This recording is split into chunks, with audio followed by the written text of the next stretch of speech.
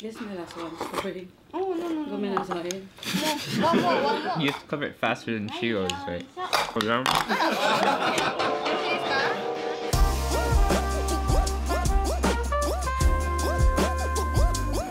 So after a long trip, traveling, train, plane, 13 hours later, I came from the tropics and some rain to this beautiful winter wonderland. It's been snowing like crazy. It was actually snowing in Tokyo, and they were saying that hasn't happened um, in a couple of years, so it must be a really whew, cold winter.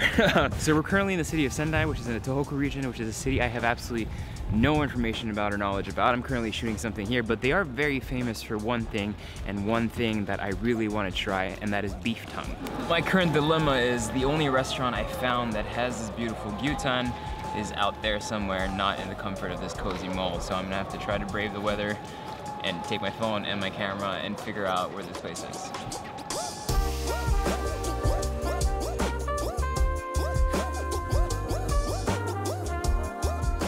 So I found a place. Um, there's nothing better than hot tea when it's so cold. At one point, I had to duck for cover because it was literally coming down sideways. Oh my god, it's so cold. Uh, so this place basically has almost only beef tongue on the menu. Different styles, uh, from curries to hot pots and things. So I just got the grilled one set with some rice and some vegetables. So I'm really excited because this is actually one of my first big meals of the day. Alright, so my experience with beef tongue is usually um, French style or Filipino style, where it has a lot of sauce. I've never actually had it just purely grilled like that. It was actually like par cooked, I think, right before he put it on the grill. And it came out in like 10 minutes, really quick. So perfect because I was so cold and so hungry.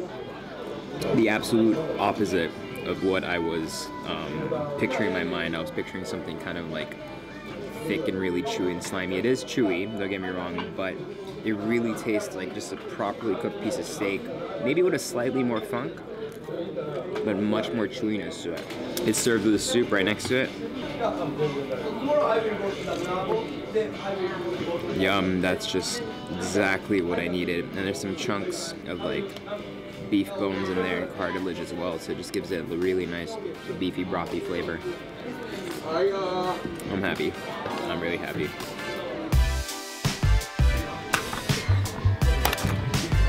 Just like every good meal, it has to come to an end. At one point, that was so good. I actually want more, and that was maybe 180 grams. I'm not gonna overdo it. I'm here for the next five days, and there's gonna be lots of food to come. Thank God the snow has calmed down a little bit. It's still snowing, but not as bad as a while ago.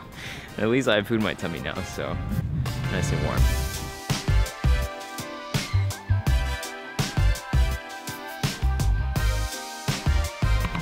After one hour and a half on a bus through beautiful mountainscapes, we arrive here and we're about to go for one of those for a ride.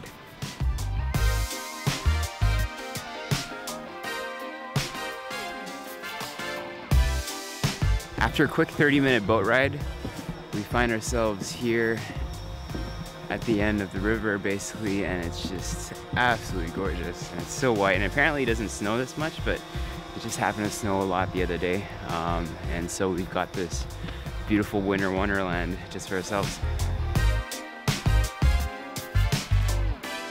The Tohoku region is not as famous as Tokyo, Hokkaido, or the Kansai region, but it has a lot to offer, from World Heritage temples like Chusonji and Mori to one of the largest onsen towns, uncrowded ski slopes and snowshoe tracks. This is really the place for history buffs and nature lovers. If you're like me, food is always an integral part of my trips, and luckily enough, the town of Ichinoseki specializes in all kinds of cooked sticky rice, known as mochi. We went to one of the 30 shops selling this specialty in the area to try a couple of the more than 300 varieties available. So we have all the different kinds of mochi here, from peanuts to black sesame to edamame to natto. I usually didn't like natto before, but it's actually pretty good this time. So there's beautifully cooked rice cakes, different types of sauces and flavorings. Really interesting stuff. This one I would actually recommend. I actually never knew mochi could have so many savory applications to it. I'm so used to having them just filled and not necessarily topped with sauce. So that was really interesting. Um, and I hope you guys get to try that because that was really delicious too. Once we've had our fill of rice, naturally noodles were next on the menu. The city of Morioka is known for its three great noodles, each representing the various influences this region has endured. Wanko soba is probably the most local one, where reimen hails from Korea and jajamen from China. We tried them all in one night. So we're in this noodle place in Morioka where basically you do this challenge of how many noodle bowls you can eat and they'll refill them. One girl did 500. That's absolutely crazy. I'm probably gonna do two.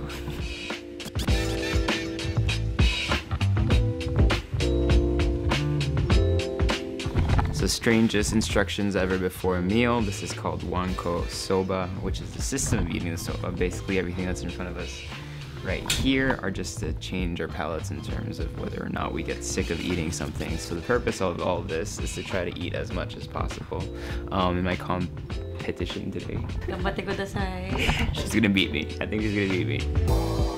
I'm starting to get full. Mm -hmm. I can feel it. Am I beating you? I think I'm beating you. I'm faster. Yeah, I think this is my last one.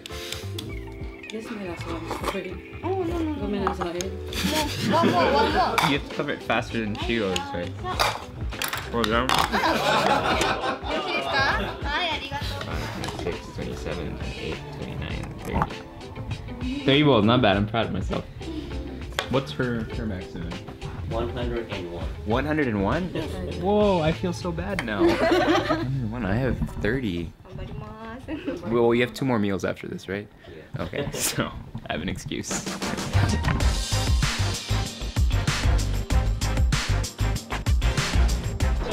So here we have reimen, which is basically more of a cold noodle, which I think personally probably takes influence from the Korean restaurants. You have your grilled plaques in front of you, and you've got these beautiful cold noodles, some kimchi. Um, there's a nice garlicky broth, some slices of beef in there. It's absolutely delicious, even though it's freezing outside. This is really tasty, and it's something that I would definitely recommend. I'm on my second bowl, or actually no, 30 second bowl of noodles. I'm starting to get a little bit full, but we're powering on. We've got one more to go.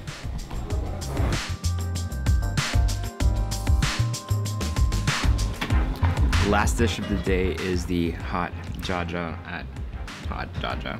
To be honest, I'm absolutely full right now, but this is like a really nice warm dish that I could totally understand why people eat this in the winter. It's nice thicker udon noodles, very starchy, very slimy with a miso-based sauce in there, some grated ginger, some cucumber, some pickled radish that's in there as well.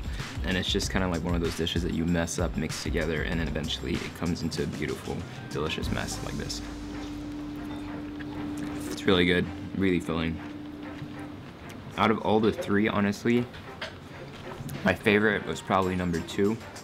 I think the reimen, the cold reimen, even though it's freezing outside, was the winner for me, but they were all absolutely delicious, and you guys should try it next time you're in town.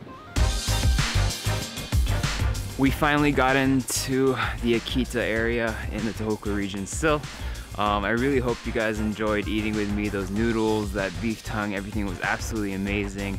Um, I'm still here for about two or three days, but I'm not too sure what we'll be able to shoot. My hands are frigid.